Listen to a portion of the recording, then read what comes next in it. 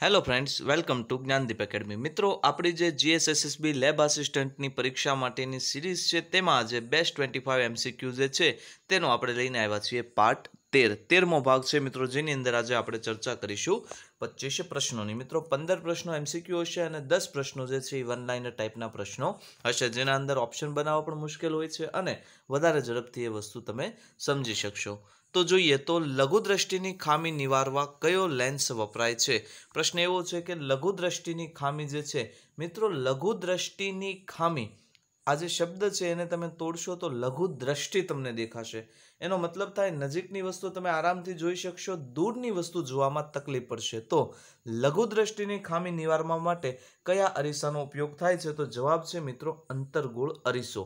અંતરગોળ અરીસો જે છે એ લઘુ દ્રષ્ટિની ખામી જે છે એને સુધારવા માટે વપરાય છે અને આવી રીતે કંઈક એનો આકાર હશે અંતરગોળનો. બહિર્ગોળની વાત કરીએ તો આવી રીતે બાહ્ય સપાટી ગોળ હશે અને આ હશે બહિર્ગોળ લેન્સ તો અહીંયા વાત છે અંતરગોળ અને બહિર્ગોળ. લેન્સ વિશે જે આંખના ચશ્મા હોય છે, એના માટેની વાત છે. બહિર્ગોળ લેન્સનો પાવર પોઝિટિવ હોય છે, અંતરગોળ લેન્સનો પાવર હોય છે નેગેટિવ તમે આંખના ચશ્માઓમાં જોયું હશે પ્લસ નંબર અને માઇનસ નંબર તો આ કેન્દ્ર લંબાઈ જે છે, એ જ સૂચવે છે, એટલે પાવર પાવર જે છે એ કેન્દ્ર લંબાઈનો વ્યસ્ત હોય છે એટલે એના ઉપરથી આપણને કેન્દ્ર લંબાઈ મળે છે. બહુ સરસ મજાનો ટોપિક છે. સમય મળશે તો ક્યારેક વધારે ડિસ્કશન કરીશું. ગ્લુકોમા રોગ કોની સાથે સંકળાયેલો છે? શરીરના કયા અંગ સાથે સંકળાયેલો રોગ છે? તો મિત્રો, ગ્લુકોમા રોગ સંકળાયેલો છે આંખ સાથે. કઈ રીતે? તો આંખ જે છે એની અંદર જે દેખાવામાં તકલીફ પડી જાય અથવા તો તમે આંખની અંદર ઘણીવાર ચેપડાઓ જે છે એનું પ્રમાણ વધી જાય તો આવી રીતનો એક રોગ હોય છે. આગળ વાત કરીએ તો શરીરના કયા કોષોમાં કોષ વિભાજન જોવા મળતું નથી? એનો મતલબ એવો થાય કે જે જન્મ સમયે કોષની સંખ્યા હોય છે, એવા જ કોષ એ જ સંખ્યાની અંદર રહે છે. તો મિત્રો, આવું તમે સાંભળ્યું હશે ઘણી બધી વાર કે આપણા જે નવ સેલ હોય છે, નવ એટલે મિત્રો જે આપણા મગજની ચેતાઓ સાથે સંકળાયેલા છે, તે નવ સેલ જે છે, ચેતાકોષો જે છે, તેની અંદર કોષ વિભાજન જોવા મળતું નથી. આગળ વાત કરીએ તો ડાયજેશિયા રોગ જે છે, એ કયા અંગ સાથે સંકળાયેલો છે? તો મિત્રો ડાયજેશિયા જે અંગ છે, તે રોગ સંકળાયેલો છે, જીભ સાથે. મિત્રો, જીભની અંદર જ્યારે સ્વાદ પારખવાની અંદર તકલીફ પડે તેવો આ રોગ છે ડાયજેસિયા. તો જવાબ આવશે જીભ. અને બીજું યાદ રાખજો કે આ ઝિંકની ખામીના લીધે આ રોગ થાય છે એ પણ તમારે યાદ રાખવાનું છે. આગળ વાત કરીએ તો કાનના પડદા અવાજને કેટલા ગણો કરી અને મગજ સુધી મોકલે છે. તો મિત્રો, આપણો કાન જે અવાજનું ડેસિબલ ગ્રહણ કરે તેના બાવીસ ટકા કરીને એ અવાજ આપણા મગજ સુધી પહોંચે છે. તો જવાબ આવશે બાવીસ ગણું.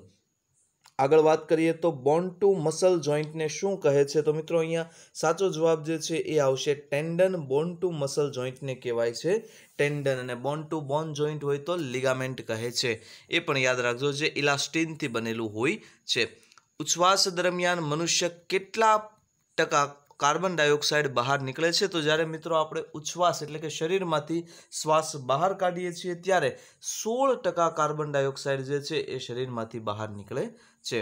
આગળ વાત કરીએ તો નાકમાં આવેલા કુલ હાડકાઓની સંખ્યા તો મિત્રો હાડકાઓ વિશે આપણે એક અલગથી લેક્ચર લીધો હતો. ત્યારે પણ વાત કરી હતી કે હવે ડિટેલ ક્વેશ્ચનો જે છે એ આપણે એમસીક્યુ ફોર્મેટની અંદર સોલ્વ કરશું. તો નાકની અંદર બે હાડકા આવેલા હોય છે. હવે હાડકાઓની જો વાત છે તો આપણે વાત કરી હતી કે ઓગણત્રીસ હાડકાઓ હોય છે. આપણા ઉપરના આપણે જે બોડી પાર્ટ છે, આપણી માથાનો ભાગ છે તેની અંદર તેમાં ક્રેનિયમ બોક્સ એટલે કે ખૂબ મગજનું જે ક્રેનિયમ બોક્સ છે, તેના અંદર આઠ હાડકાઓ હોય છે, ચૌદ હાડકાઓ જે છે એ આપણા ચહેરા ઉપર હોય છે.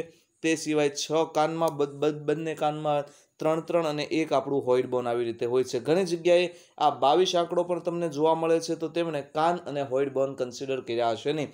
પરંતુ જો ઓગણત્રીસ જવાબમાં હશે તો ઓગણત્રીસ જ લખવા. જો ઓગણત્રીસ ન હોય તો એના પછીનો સાચો જવાબ રહેશે અઠ્યાવીસ. અને જો ઓગણત્રીસ અને અઠ્યાવીસ બંને જવાબ ઓપ્શનમાં ન હોય તો બાવીસ ટીક કરવાનું છે. આજે એક કોઈ આપણા સ્ટુડન્ટે કોમેન્ટ કરી હતી એટલે એટલા માટે મને થયું કે આને થોડુંક વધારે ડિસ્કશન કરીએ. આગળ વાત કરીએ તો સ્વપ્ન એ યાદ રાખવા માટે ઉપયોગી વિટામિન શું કયું છે? એટલે કે સ્વપ્નને તમારે યાદ રાખવું છે તો એ એના માટે ઉપયોગી વિટામિન કયું છે?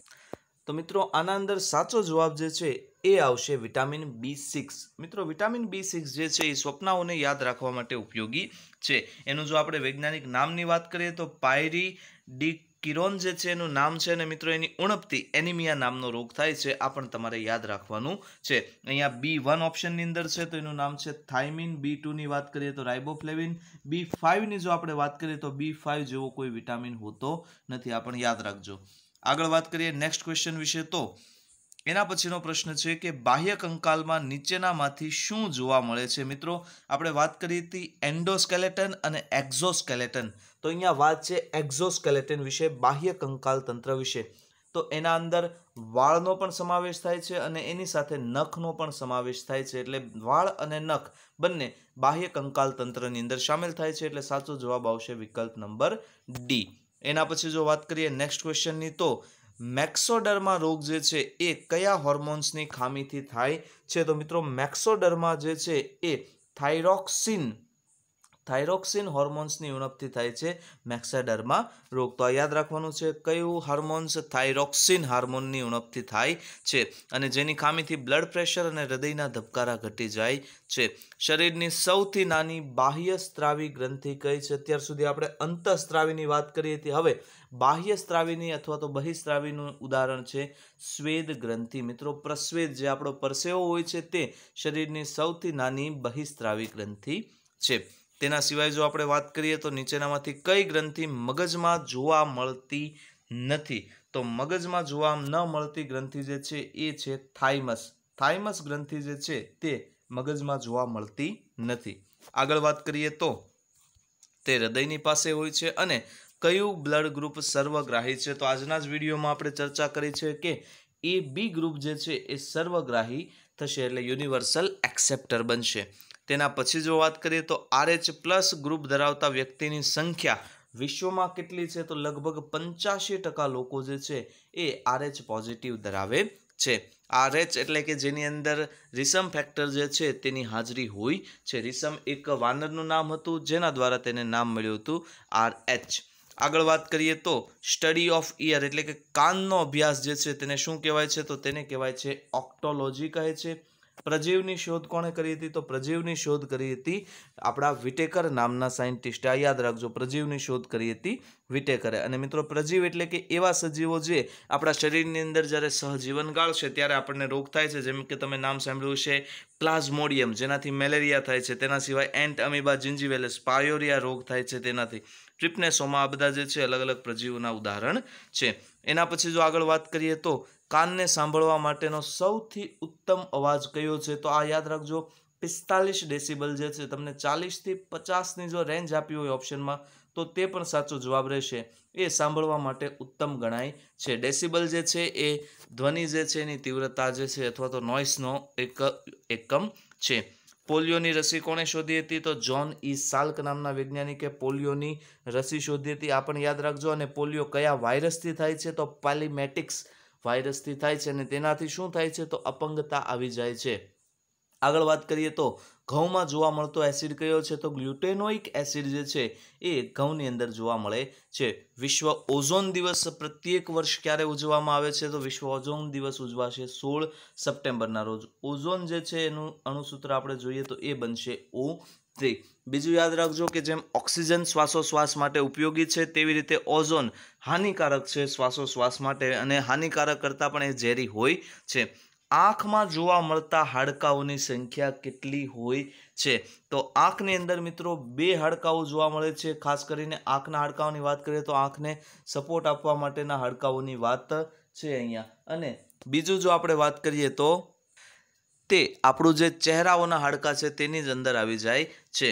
મનુષ્યના શરીરમાં જોવા મળતી પાસળીઓની સંખ્યા કેટલી છે? તો મિત્રો પાસળીઓ હોય છે ચોવીસ. બાર જોડ પાસળીઓ હોય છે. એકથી સાતને ટ્રુ પાસળીઓ એટલે કે ટ્રુ રિબ્સ કહેવાય છે અને એના પછીની ફોલ્સ અગિયારમી અને બારમી જોડ જે છે તેને કહેવાય છે ફ્લોટિંગ રિપ્સ તરીકે પણ ઓળખાય છે. હૃદય જે છે એ પાંચમી અને છઠ્ઠી પાસળીની વચ્ચે આવેલું હોય છે, આ પણ યાદ રાખજો. આગળ જો આપણે વાત કરીએ તો કુદરતી પેસમેકરની શોધ કરનાર વૈજ્ઞાનિક કોણ છે? તો મિત્રો જ્હોન હોપ્સ નામના વૈજ્ઞાનિકે કુદરતી પેસમેકરની શોધ કરી હતી. હવે મિત્રો પેસમેકર શબ્દ સાંભળીએ તો આપણને એમ થાય કે આ પેસમેકર શું હશે?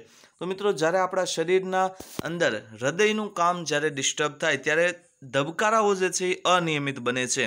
તો આ અનિયમિત ધબકારા જે છે તેને નિયમિત કરવા માટે ગળાના નીચેના ભાગમાં આ પેસમેકર કૃત્રિમ રીતે મૂકવામાં આવે છે, જે ધબકારાઓનું નિયંત્રણ કરે છે. અને બીજું યાદ રાખજો કે આ વિદ્યુત સંકેતો પણ મોકલે છે. અને છેલ્લો પ્રશ્ન છે કે મનુષ્યના મગજનો વજન કેટલો છે? તો મનુષ્યના મગજનો વજન છે ચૌદસો ગ્રામ. ચૌદસો ગ્રામનું આપણું વજન હોય છે, મગજ જે આખા શરીરને નિયંત્રિત કરે છે. તો મિત્રો, આ હતા આપણા best twenty five એમસીક્યુનો part thirteen thanks for watching જય હિન્દ.